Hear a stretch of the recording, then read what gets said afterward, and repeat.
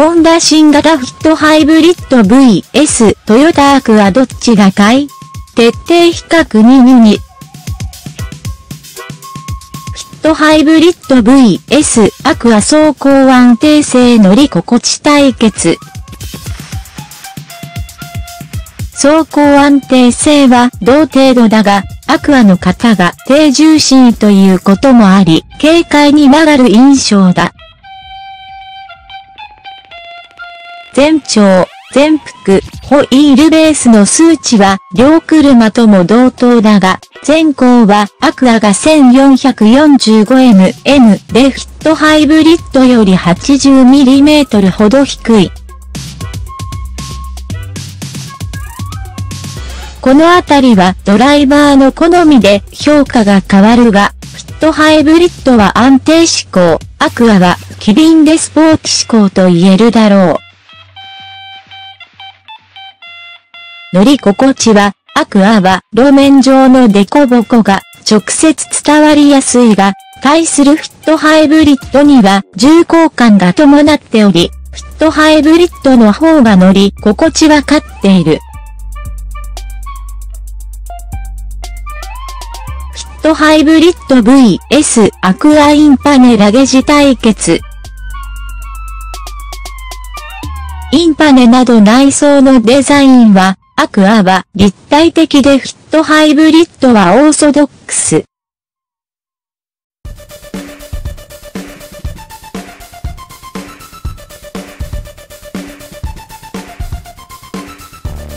内装の質感が高いのはフィットハイブリッドだろう。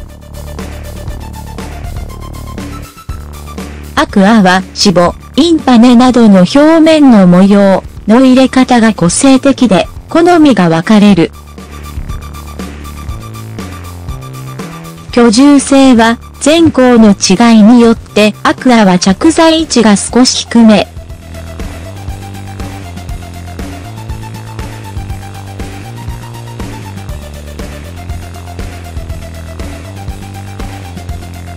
手足を伸ばし気味に運転するタイプで、ドライバーの姿勢も少しスポーティとなる。対するフィットハイブリッドはコンパクトカーらしく床と座面の間隔を十分に確保することで空間効率を高めている。リアシートはフィットハイブリッドの圧勝だ。アクアは前後が低めで、天井を後ろに向けて加工させたから、着座位置が下がって腰の落ち込む座り方となる。アクアは身長 170cm の大人4名が乗車して、リアシートに座る同乗者の膝先空間は握り拳一つ半ば。座面のボリューム感も不足している。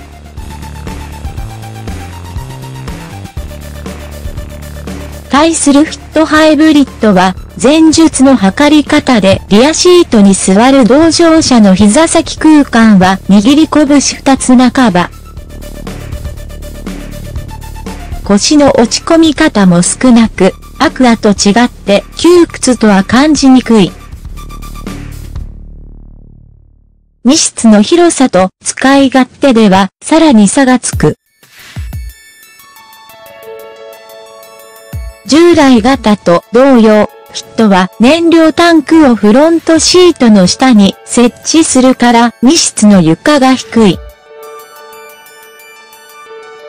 もともと容量にゆとりがあり、リアシートを床面へ落とし込むように畳めば、ヒットはコンパクトカーで最大級の荷室を確保することができる。アクアはシートアレンジが単純で、フィットのような多彩な機能は備わっていない。こういった機能の違いに前述の価格差まで加えると、総合評価ではフィットハイブリッドが勝る。アクアはダイレクト感のある運転感覚が魅力で、車好きには受けそうだが、コンパクトカーのユーザーは多用途性を求める傾向が強い。比較検討されるとアクアは辛いところだ。こうなるとアクアには JC08 モード燃費を49ムル前後まで引き上げたり、高速域にも対応できるミリ波レーダーを使った衝突回避の支援機能が求められるだろう。居住性や積載性はマイナーチェンジではほとんど改善できず、燃費性能と安全性能で優位に立つしかない。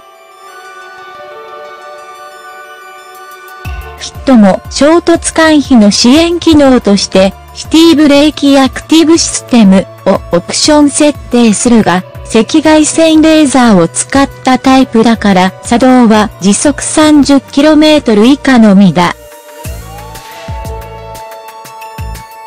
そのためにサイドアンカーテンエアバッグとセットで約6万円と価格を抑えるが、アクアとしては高速域のカバーで差をつけるしかないだろう。一方、ヒットで注意したいのは納期。ディーラーでは8月上旬から受注を開始しており、ハイブリッドの比率が圧倒的に高い。9月に発表された後に試乗を行い、シティブレーキアクティブシステムを含んだセーフティパッケージを加えると4ケラ6ヶ月も待たされる心配がある。半年も待てば、納車前にユーザーの愛車が車検を迎えるケースも生じるから、需要の先読みを入念に行って生産計画を立ててほしい。それにしてもヒットのフルモデルチェンジは、日本車全体の売れ行きに影響を与えそうだ。直接関係するのはアクアを筆頭にした1.3ケラ1ピリオド5リッタークラスのコンパクトカーだが、小さな車に代替えするユーザーも従来以上に増えるだろう。特にトヨタは今のところ販売面ではアクアとプリウスに頼りきっている状態だが、それ以外の車種の充実も図ってほしい。ホンダがヒットと軽自動車の N シリーズで攻めるなら、トヨタは趣味性も味わえる小型普通車のワイドなバリエーションに力を入れて応戦すべきだ。小さくて安く高機能な車が充実するのはユーザーにも環境にも良いことだが、そこに偏ると寂しい。ホンダも同じく実用重視ならフィット、N ボックス、ステップワゴンの3車があれば大半のニーズに応じられるが、ホンダはそういうメーカーではないと思う。だから今後登場する軽自動車のスポーツクーペや NSX に期待がかかる。